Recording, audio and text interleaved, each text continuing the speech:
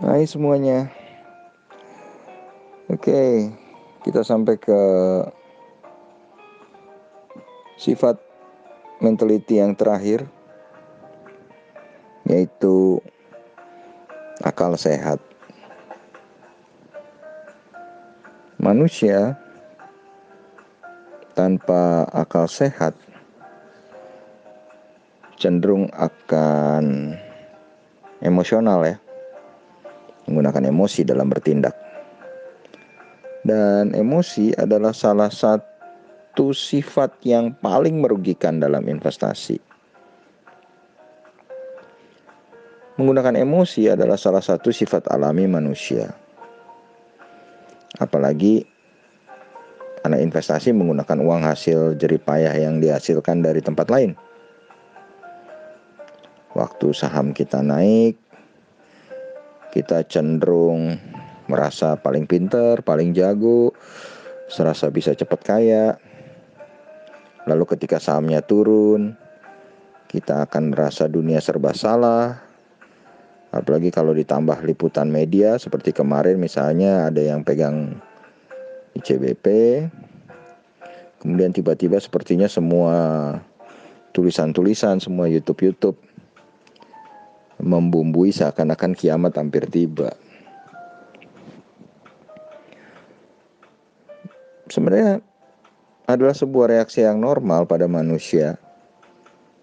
Karena manusia itu suka melebih-lebihkan apa yang dirasakannya. Manusia jarang bisa objektif menilai sesuatu. Padahal, seperti dalam kehidupan kita, dalam saham juga selalu ada up and down. Cara pandang kita lah yang menentukan reaksi kita terhadap up and down itu. Ada yang bilang proses 10-90 Itu apa yang terjadi pada kita Itu sebenarnya cuma 10% Dan reaksi kita adalah 90% Minimal ketika up Anda bisa menanyakan ke dalam diri Apa masalah yang mungkin membuat situasi ini berubah? Ketika down Kita juga bisa menanyakan Apa sih hal yang bisa membuat situasi ini membaik?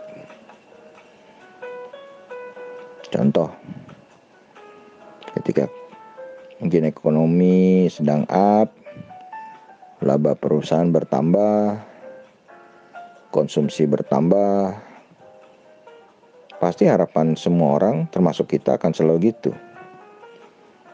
Tapi kenyataannya mungkin nggak demikian. Ketika penghasilan kita bertambah, otomatis ada pihak lain yang ingin menikmati juga. Harga barang dinaikkan, menambah inflasi. Pemerintah menaikkan pajak untuk membiayai pembangunan. Listrik, air, jalan harus dibangun. Inflasi dan pajak akan mengurangi daya konsumsi.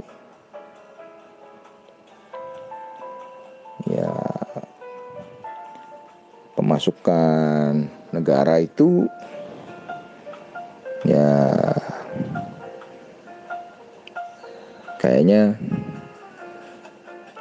yang cukup lumayan berarti itu ya kalau nggak dari pajak ya utang. Kalau dari utang berarti ekonomi kita dibiayai high cost ekonomi. Lalu setelah ekonomi melemah karena orang takut mengeluarkan uang, maka orang cenderung berhati-hati. Dan reaksi yang muncul pasti macam-macam. Tapi hampir pasti nggak ada yang senang dengan pelemahan. Kecuali ada pihak yang mendapat keuntungan dari pelemahan tersebut. Sehingga kadang-kadang banyak yang merasa ketika saat pelemahan itu datang, udah merasa nggak ada harapan lagi. Tapi ketika ekonomi melemah seperti sekarang akan membuat pemerintah mengeluarkan stimulus atau keringanan beban usaha. Entah itu dari sisi pajak, dari sisi peraturan atau dari sisi subsidi. Setelah ini terjadi, maka akan ada pihak-pihak yang bergerak sehingga ekonomi akan berputar lagi rodanya akan jalan lagi. Di sinilah kita penting, penting banget bersikap realistis bahwa semua itu tidak akan berlangsung selamanya. Baik waktu naik, fase naik maupun fase turun. Adalah sikap kita yang menentukan apakah kita bisa mengambil opportunity kesempatan dari peluang yang muncul. Nggak ada cara untuk meramal kapan peluang muncul. Kalau ya peramalnya udah ada di Hawaii. Atau di Brasil atau di mana lah Karibia gitu ya. Menikmati pensiun. Daripada ya masih sibuk itu peramal bawa bola kristalnya mencari pelanggan kita hanya bisa mempelajari dari situasi yang ada. Misalnya ketika di atas apa tanda yang akan membuat semua reversal ke bawah? Begitu juga ketika di bawah. Apa sih tanda-tanda yang akan membuat reversal ke atas?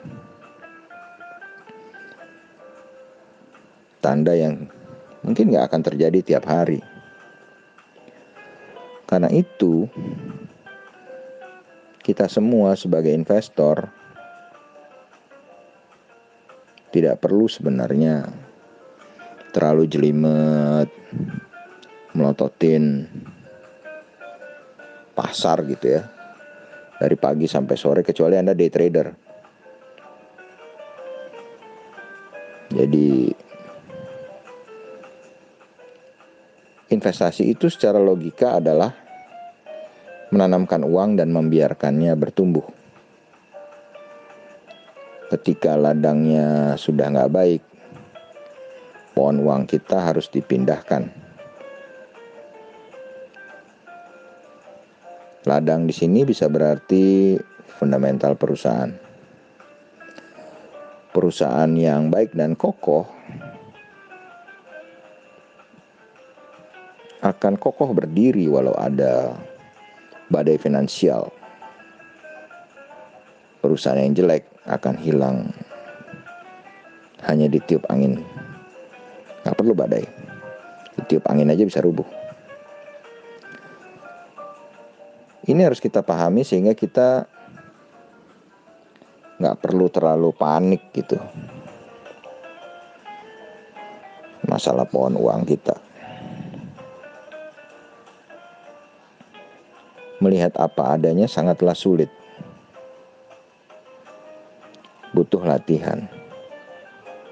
Ingat sikap mental yang kelima, latihan. Kita sudah terbiasa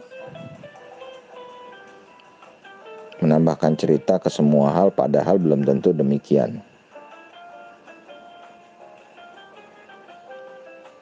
Jadi walaupun susah seperti sekarang, pasarnya nggak bagus, kita tetap perlu berlatih. Karena jika kita nggak berlatih, bisa-bisa kita ngulangi kesalahan lama yang nggak membantu kita. Semakin sering kita lakukan, semakin sering kita berlatih menggunakan akal sehat, maka semakin gampang kita menerima sesuatu terjadi pada diri kita, baik hal-hal yang baik maupun hal-hal yang buruk. Ada orang menganggap dirinya pemarah. Padahal secara logika nggak ada yang namanya orang pemarah 24 jam sehari. Adanya ya, ya orang yang suka marah-marah. Demikian juga untuk jadi investor yang berhasil. Secara akal sehat, ya kita harusnya ngelihat yang udah sukses, berhasil dan mengikuti mereka. Secara logika ini lebih cepat dibanding sibuk membuka jalan sendiri. Bukannya maunya kita cepat berhasil. Sama saja dengan bisnis lain.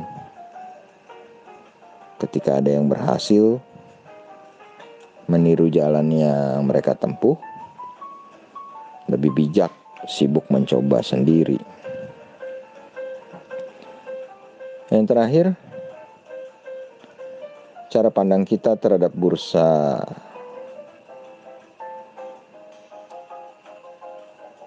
Saham adalah kertas yang mewakili nilai sebuah perusahaan.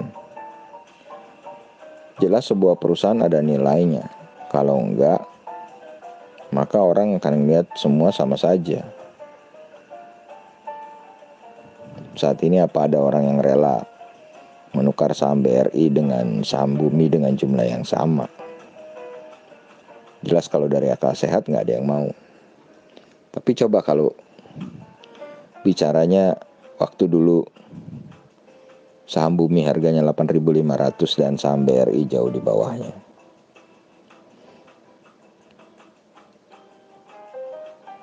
Perusahaan yang masing-masing ada nilainya ini akan bergerak naik turun tergantung situasi. Sama juga ketika contohnya masa susah. Orang akan panik dan menjual. Ketika masa senang, orang akan nafsu untuk membeli. Di sinilah ada opportunity. opportunity untuk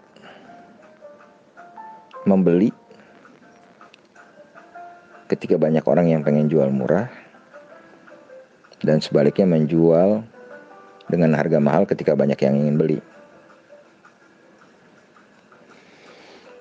So gimana kalau kita nggak tahu nilai perusahaan? Di sinilah pentingnya kita meningkatkan kapasitas kita. Sama logikanya ketika anak SD dikasih pelajaran SMA ya jelas dia nggak akan paham. Nah, ngomongin anak SD, anak SMA, orang tua pasti harus mendorong sang anak untuk terus maju. Bukan diajarin suruh nyontek, cari jalan pintas. Demikian juga di saham.